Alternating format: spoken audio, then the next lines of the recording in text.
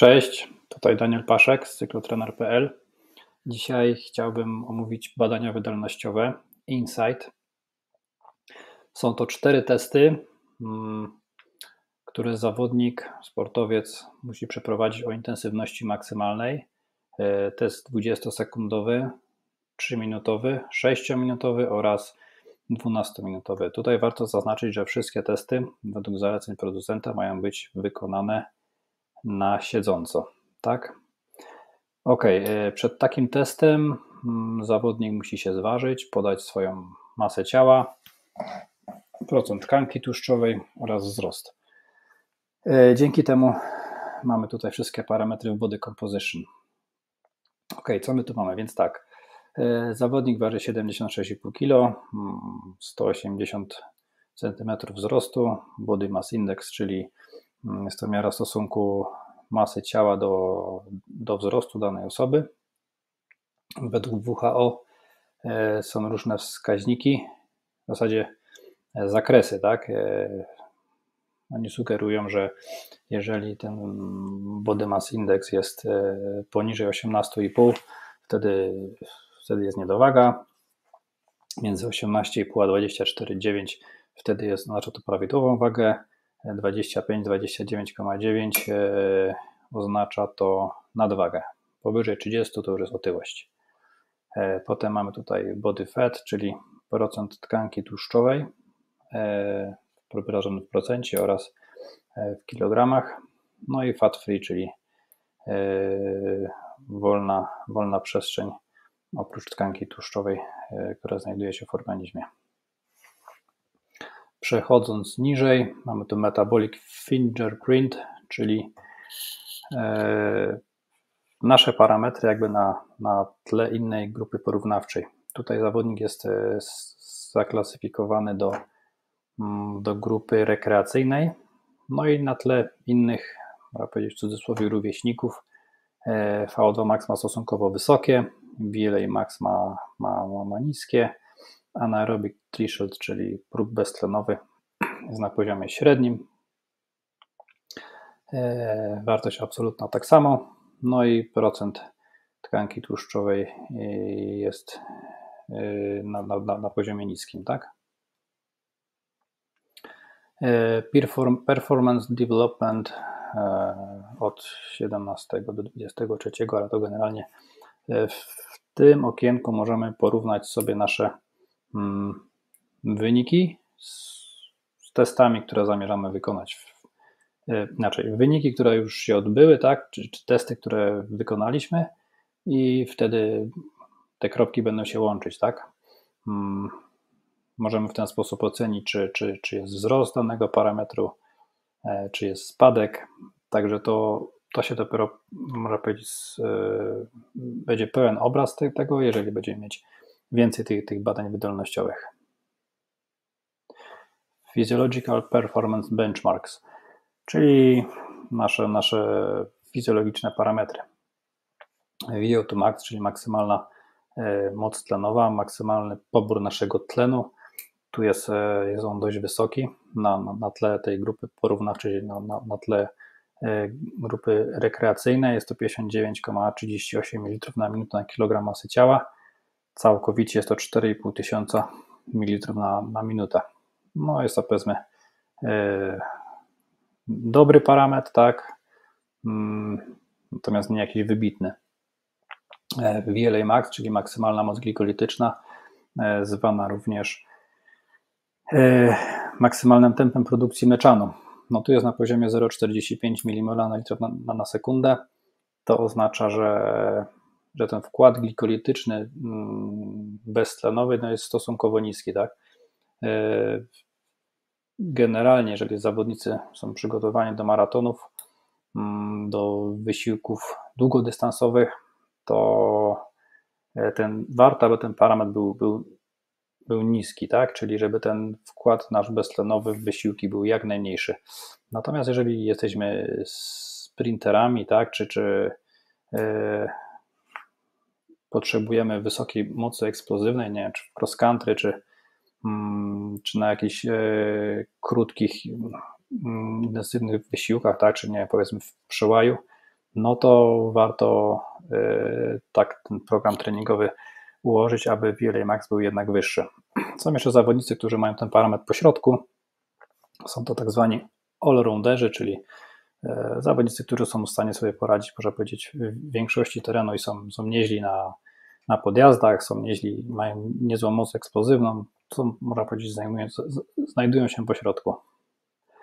AT, czyli próg e, beztlenowy, również zwany MLSS, czyli maksymalna równowaga mleczanowa, to jest na poziomie 288 W, jest to nieco powyżej średniej.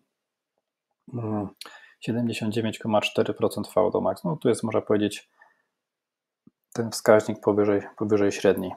Następnie mamy Fat Max, czyli parametr, w którym e, najwięcej energii pozyskujemy z kwasów tłuszczowych. Mm, tutaj jest na poziomie 191 W ten mm, zakres e, ustawiony.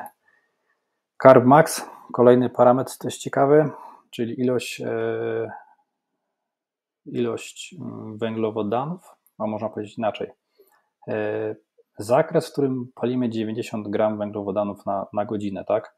Mm, zakładając, że jesteśmy w stanie tyle samo dostarczyć organizmowi, no jesteśmy praktycznie cały czas na bieżąco e, ten glikogen uzupełniać. Czyli to jest na przykład dobry parametr do E, do zawodników jadących ultra, tak, czyli jakichś wyścigów typu, typu gravel 150-200 km. Można powiedzieć, że jeżeli zawodnik jedzie na takiej intensywności, oczywiście jeżeli ma ten karmak wyznaczony na, na, na 211 W, tak, no to wtedy mm, jeżeli będzie cały czas tą moc utrzymywał i będzie jadł 90 gram na godzinę, no to są duże szanse, że ten glikogen będzie cały czas na bieżąco uzupełniany. E, no i odnośnie glikogenu jeszcze tutaj e, program wyliczył zawodnikowi 454 mm, e, gram pełnego glikogenu, który może wykorzystać. Następnie przejdziemy sobie do, do kolejnej rubryczki jest to charakterystyka e, e, obciążeń, tak? Mm, metabolic demand and VO2, czyli e, zapotrzebowanie na tlen mm, i, i szybkość wchłaniania tego tlenu, tak? Czyli szybkość wchłaniania, wchłaniania, wchłaniania, czyli niebieska linia i zapotrzebowanie na tlen, czyli granatowa linia. Można powiedzieć, że te dwie linie idą ze sobą równolegle. No i po pewnym czasie e, tworzy się różnica pomiędzy mm, szybkością wchłaniania tlenu a, a zapotrzebowaniem. Ta luka, która się tutaj znajduje mm, pomiędzy granatową i jasno-niebieską linią, to jest e, nasza, nasza, nasz parametr beztlenowy, tak? Mm, wszystko, co, co, co znajduje się poniżej, to, to jest nasza, e, nasz metabolizm tlenowy. No i generalnie chodzi o to, żeby, żeby jak najwyżej podnieść e, tą niebieską linię tak, w górę, mm, żebyśmy byli jak najbardziej zdolni do, do wykonania wysiłków e, tlenowych z im większą mocą, tak? Jeżeli zawodnicy mają wysoki VLA max, no to ta, ta, ta luka jest większa, tak? Czyli mm, jest, można powiedzieć, większy, większy tak zwany gap, czyli ta, ta, ta przestrzeń jest po prostu większa. Większy tu jest wkład wtedy e, glikolityczny beztlenowy. Następnie mamy lactate recovery and accumulation, mm, czyli tutaj możemy sobie zobaczyć, że przy, przy 288 W Mm, akumulacja mleczanu rośnie. Powiedzieć na, na 315, 317 W jest wzrost, yy, wzrost pół milimola na litra, na litr na minutę, tak? Czyli można powiedzieć, im wyżej wzrasta intensywność, tym akumulacja mleczanu jest wyższa, tak? Tu już jest na powiedzmy na poziomie jednego jednego milimola, tak? Przy, przy, no, przy prawie 338 W. Możemy sobie również zastosować pewną strategię e, symulacji czy estymacji tego, mm, e, z jaką, z jaką wartością mleczaną będziemy trenować, tak? Czyli powiedzmy nie wiem, 10 minut na, na, na, na, na 312 watach da nam e, po, powiedzmy z 4 milimole, tak? Musimy pomnożyć 10 razy 0,4 i wtedy będziemy mieć e, przewidywalną wartość e, naszego stężenia mleczanu. Następnie mamy e, produkcję i spalanie tego mleczanu, tak? Czyli tutaj znowu jakby dochodzimy do, do progu AT, do progu MLSS.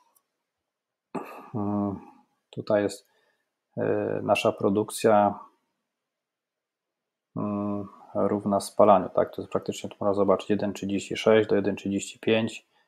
No i tutaj e, zaczyna dominować już produkcja nad, nad spalaniem, czyli e, już nie jesteśmy w stanie tego mleczanu tak dobrze utylizować, no i, i niestety musimy tutaj obniżyć intensywność, żeby, mm, żeby móc dłużej e, być w metabolizmie tlenowym. W zasadzie generalnie cały raz będziemy w tlenowym, tak? Tylko tutaj już mleczan będzie, nie będzie mieć zdolności do, do spalania tego mleczanu.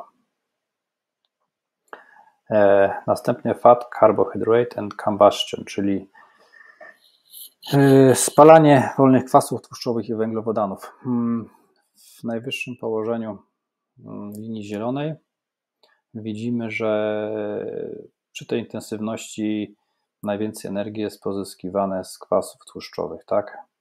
Czyli tutaj powiedzmy na poziomie 170 do, do 200, no do 210 tutaj jest najwięcej energii pozyskiwane z kwasów tłuszczowych. Tu jeszcze na ten parametr Carb Max, tak, czyli te 90 gram węgli na godzinę, 210-211 W. No i tutaj możemy zobaczyć, hmm, zbliżamy się do progu AT, E, i tutaj palimy 247 gram węglowodanów na godzinę. No i tutaj już warto e, zwrócić uwagę na tą, na tą rzecz, że e, spalanie węglowodanów rośnie mm, wraz z naszą intensywnością, no i praktycznie aż do, aż do wyczerpania glikogenu. Tutaj już nie mamy praktycznie pozyskiwania energii z kwasów tłuszczowych. Zielona linia całkowicie spada do, do zera.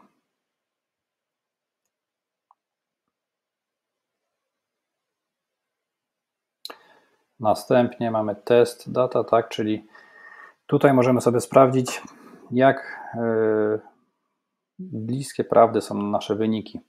Hmm.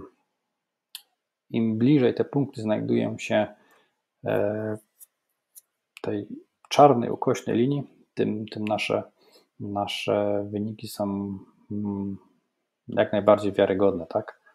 No i tutaj jest taki jeszcze parametr jak white regression, czyli e, to, jak ja jestem bardzo pewny, że te, te wyniki są wiarygodne, tak? No bo generalnie zawodnicy, jeżeli jak wykonują te testy, mogą czasami trafić na różne trudności, e, czasami coś się dzieje, na, na, na trasie podczas tych testów, czy, czy, czy zawodnik nie wykonuje ich z intensywnością maksymalną z różnych przyczyn. No i po prostu ja muszę być pewny, tak? Czyli jak bardzo jestem pewny, że te, te, ten jego wynik jest wiarygodny. No tutaj podsta podstawiłem na wiele Max na 4, na V2 Max na 8 i na próg beztlenowy na 7, no i algorytm to tak wyliczył, że, mm, że te wyniki są no, bardzo bliskie e, prawdy, tak, czyli no są, są dość wiarygodne. Jeżeli by ten, ten, te kropeczki były bardzo rozstrzelone, znaczy, że któryś z testów poszedł nie tak. Następnie mamy strefy treningowe.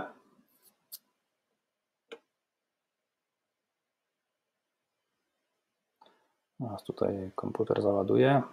Może sobie je tutaj poszerzymy.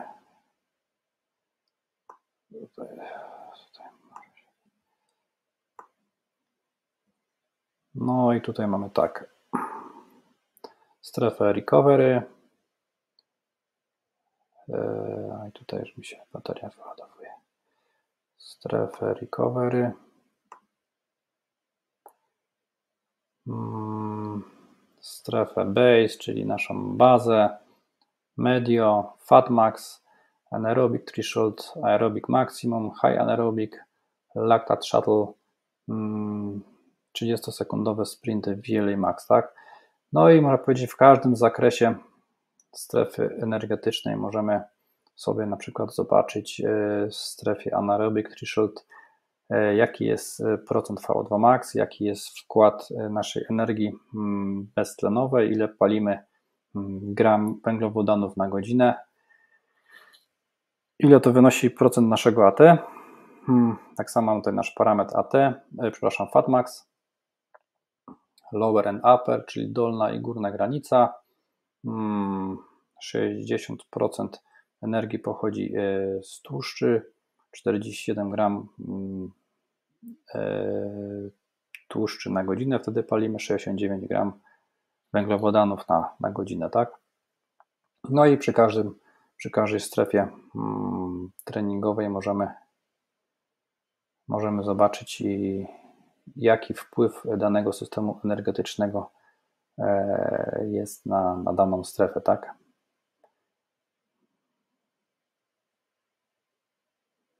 Co tu jest ciekawego jeszcze? No generalnie możemy na przykład zobaczyć e, przy, przy progu AT, że ten wkład beztlenowy tu wynosi tylko 5%, tak? Czyli no mimo wszystko ten wyniki, e, te wysiłki na, na, na progu beztlenowym dalej są w głównej mierze tlenowe, tak? Mimo, że to się mówi, że to jest próg beztlenowy. Hmm. E, możemy sobie jeszcze tutaj zmienić te te strefy energetyczne.